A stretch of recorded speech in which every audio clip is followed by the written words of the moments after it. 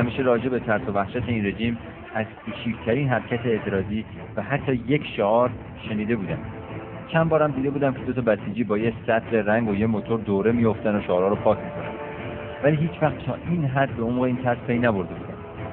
وقتی فیلم کوتاهی که گرفته بودم رو تو یوتیوب گذاشتم از تعداد بازدید کننده ها و لایک و کامنت های خودم تعجب کردم.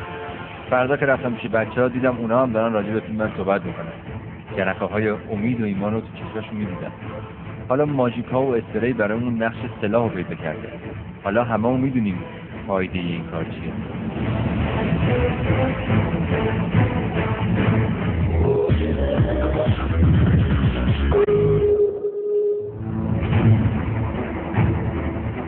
این شعارها و اعتراضات می‌توان خشم انفجاری مردم و نفرت و انزجار از عمق فساد و ظلم رو دید. این اعتراضی مؤثر هرچه میگذره گسترده تر و رادیکالتر میشه.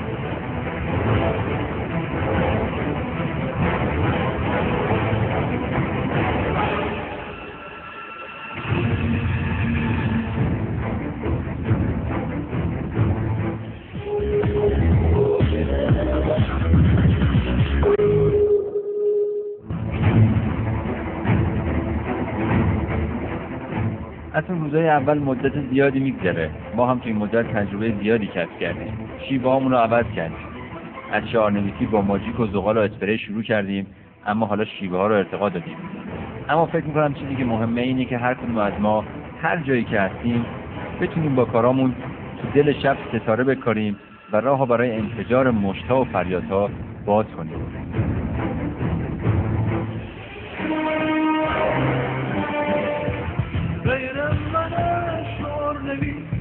کسی جرأت نداره ستاره رو شب بباره.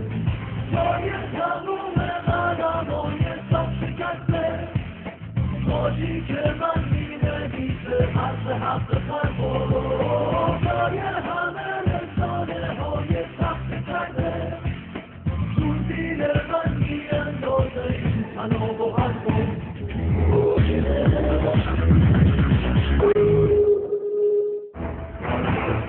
دیکتاتور رو از سقوط گریزی نیست. وقتی لرزه های سرنگونی رو حس می‌کنه منقبضتر میشه و تنها ابزارش تشدید سخته اما زمانی که بحران ها به مرحله می‌رسند که راه حلی برای اونها متصور نیست اینجاست که بحران به درونش میریزه و کنترل و مهار را رفته رفته از دست میده.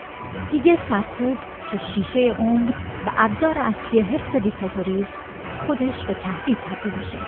اینجاست که نشانه های دوران سرنگونی آشکار میشه.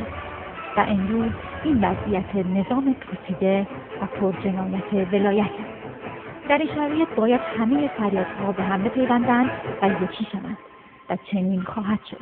فریادهای روی دیوارها با فریادهای در گلو خفته گره می‌خورند و گامهای استوار قیام روزهای پایانی دیکتاتور رو رقم می‌زنند.